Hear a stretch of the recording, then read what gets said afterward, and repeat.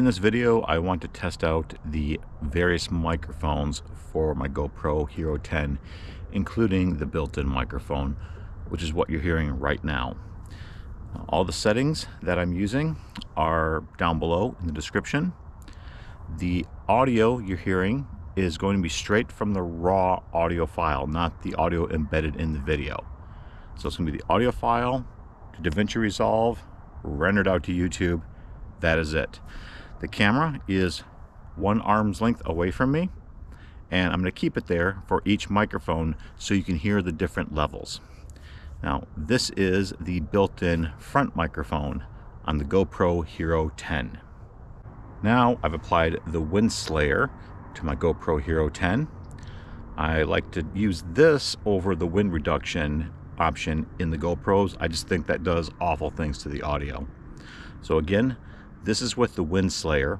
Unfortunately, it's a very light breeze out here, so we really can't test the actual effects of the Windslayer. I'll probably do that in another video. And now you're listening to the audio from the front microphone of the GoPro Media Mod. Now to be honest, this is not one of my favorite microphones. Whenever possible, I prefer to use a secondary microphone.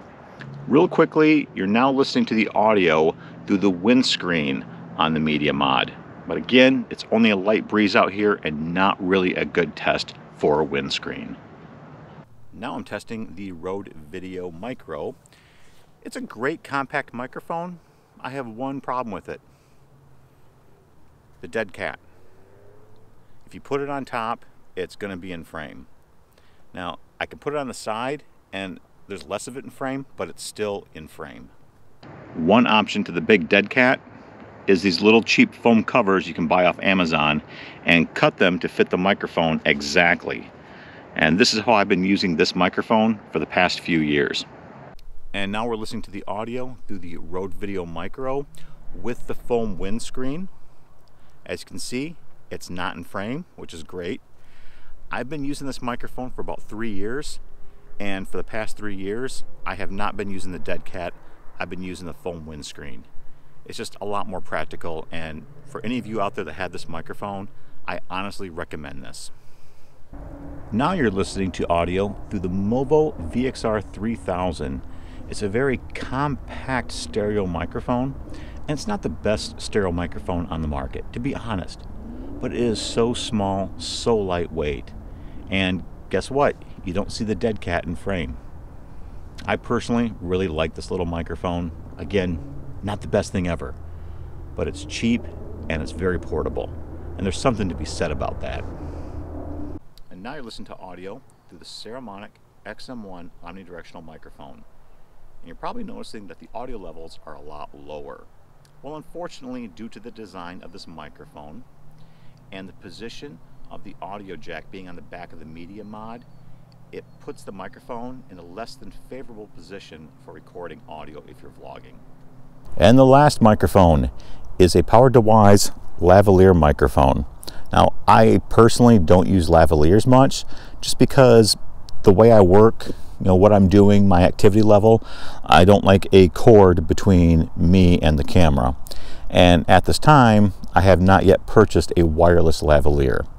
When I do, if I do, I will definitely test it out. And that was it for my test. I'm curious which microphone you prefer. For me, I prefer the built-in mic with the Windslayer.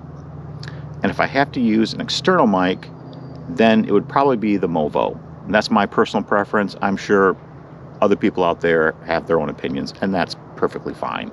We don't have to agree on everything. Well, it's getting kind of late. Time for me to head in. Thanks for tuning in. If you found this video useful, well, cool. You know what? I'm going to be the first YouTuber to say this, I think. Don't subscribe.